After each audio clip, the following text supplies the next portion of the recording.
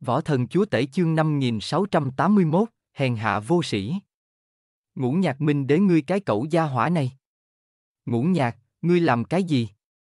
U Minh Đại Đế cùng Thập Điện Diêm Đế đều là thần sắc đại biến, phẫn nộ mở miệng.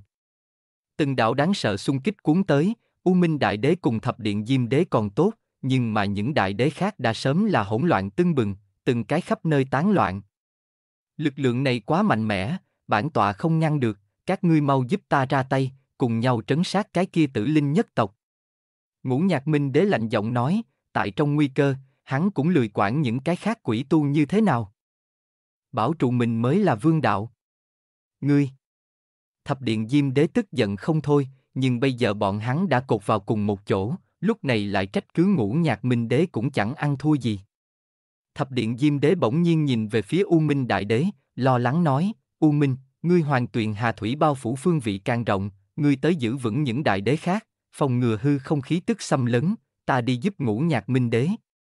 Còn có các ngươi những người khác, đều ổn định thân hình, tuyệt đối đừng loạn, ngoài ra có những đại đế có năng lực thì thêm ra chút lực. Thập điện Diêm Đế ánh mắt nhìn về phía Minh Tàng Đại Đế. Hắc Viêm Đại Đế, Ma Hài Đại Đế, Minh Trùng Đại Đế nhóm cường giả trên thân. Thập điện Diêm Đế ngươi yên tâm, chúng ta sẽ không đứng yên nhìn xem, Minh Tàng Đại Đế bọn người vội vàng trả lời, tiếp đó thân hình từng cái phóng lên trời, ầm ầm, thân thể bọn họ bên trong đều là tản mát ra từng đạo đáng sợ minh giới khí tức, cấp tốc ngăn cản ngũ nhạc minh đế tản mát ra xung kích, cùng với bốn phía vọt tới lẻ tẻ hư không khí tức. Thập Minh Vương Điện, giết.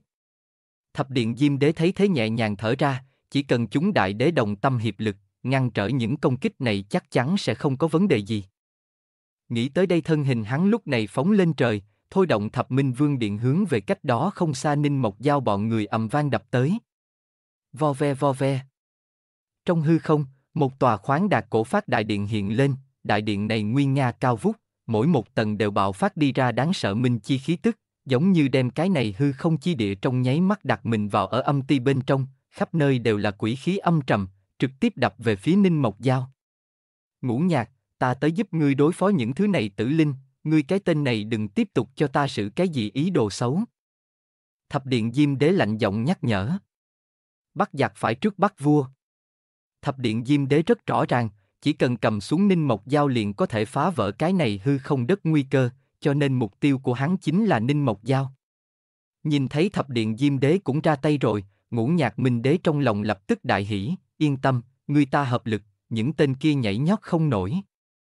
Vừa nói, ngũ nhạc minh đế lại gia tăng thu phát, khoáng đạt ngũ nhạc minh phong cấp tốc chấn động, càng là trở nên càng nguy nga đứng lên, khuấy động xuất ra đạo đạo sóng trùng kích đáng sợ, ngăn cản bốn phía đánh tới hư không lưỡi dao.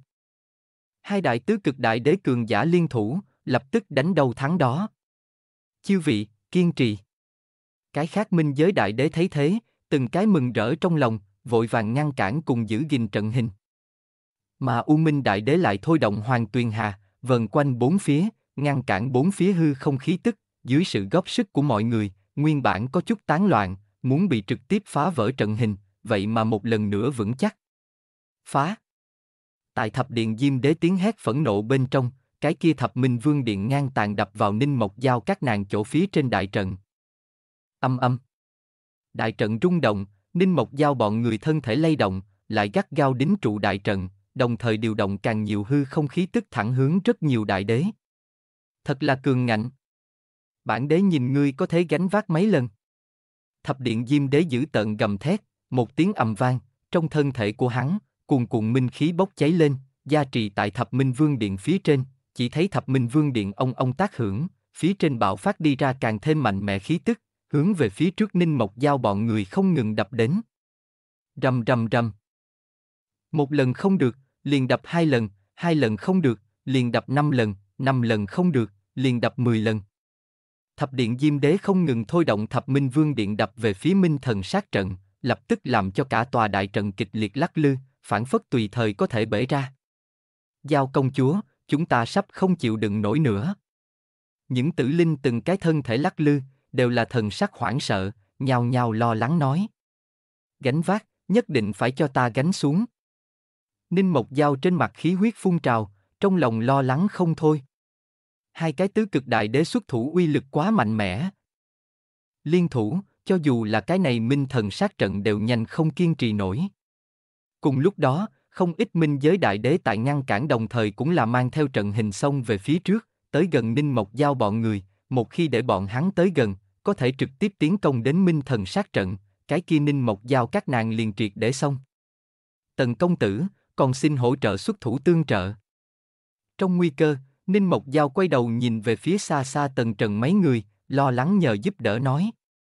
Bây giờ trên sân, cũng chỉ có tần trần bọn hắn còn không có cuốn vào chiến đấu, nếu là tần trần bọn hắn gia nhập vào. Vậy các nàng tử linh nhất tộc liền còn có kiên trì hy vọng. Ma lệ nhìn xa xa lung lay sắp đổ Ninh Mộc Giao bọn người, vốn trong lòng của hắn đối với Ninh Mộc Giao những thứ này tử linh là cực kỳ bất mãn, nhưng này thời điểm cũng không khỏi khẩn trương lên. Một khi Ninh Mộc Giao các nàng bị đánh bại, cái kia cái tiếp theo lọt vào công kích chính là bọn họ. Tân Trần, chúng ta không phải là nên ra tay giúp một chút. Ma lệ cũng vội vàng nói. Bá. Đang nhắm mắt cảm giác Tần Trần đột nhiên mở to mắt, một vệt thần quang từ hắn trong đôi mắt nở rộ mà ra, hắn quay đầu mắt nhìn xa xa Ninh Mộc Giao nhóm tử linh. Cười nói, Ninh cô nương, còn xin nhiều kiên trì phúc chốc, tần mổ đối với cái này đen như mực chi địa bên trong tử linh pho tượng tự hồ có chút hiểu ra, chờ tần mổ triệt để cảm ngộ những thứ này tử linh pho tượng, sẽ giúp Ninh cô nương ra tay cũng không muộn. Gia hỏa này. Đơn giản lan tâm cẩu phế. Nghe vậy, rất nhiều tử linh cường giả đều là phẫn nộ nói. Ninh Mộc Giao sắc mặt cũng dần dần khó nhìn lên, nàng khẩn cầu, tần công tử, chẳng lẽ ngươi muốn trơ mắt nhìn chúng ta bị đánh giết ở nơi này sao? Chúng ta nếu là bị giết hết, đối với tần công tử ngươi tự hồ cũng không chỗ tốt gì à? Tần Trần Ma lệ cũng gấp cắt nhìn qua. Thực sự là cấp bách chết người, tần trần tiểu tử này làm sao lại có thế như thế thờ ơ đâu? Đại nhân, nếu là ngươi không rảnh mà nói, hay để cho ta và ma lệ đại nhân ra tay giúp đỡ. Ngục Long đại đế giả vội vàng nói. Hắn cũng không muốn lại bị ngũ nhạc minh đế bắt lại. Ta nói đợi lát nữa liền sẽ giúp, các ngươi gấp cái gì? Tần Trần quét mắt hai người, ánh mắt lạnh lùng, tiếp đó quay đầu hướng về phía Ninh Mộc Giao mỉm cười nói, Ninh cô nương, người bên kia một tôn tử linh cũng chưa chết, làm sao lại nói không được đâu. Dạng này. Chờ cô nương bên kia lúc nào chết một tôn tử linh, tần mổ lại ra tay như thế nào? Mẹ nhà hắn. Giao công chúa, ngươi xem một chút gia hỏa này nói gì vậy, có còn là con người không? Tiểu nhân hèn hạ. Xinh đẹp tử linh, khôi ngô tử linh nhóm cường giả đều là trống giận. Nghe một chút, cái gì gọi là chết một tôn tử linh lại ra tay? Cái này mẹ nó vẫn là tiếng người sao? Dương Giang thằng nhãi con, chẳng lẽ mỗi một cái đều là hèn hạ như vậy vô sĩ sao? Ngươi! Ninh Mộc Giao cũng là tức giận đến phát trung lên, nàng gắt gao nhìn chầm chầm Tần Trần, thất vọng nói, Tần công tử, xem ra Mộc Giao là xem lầm người.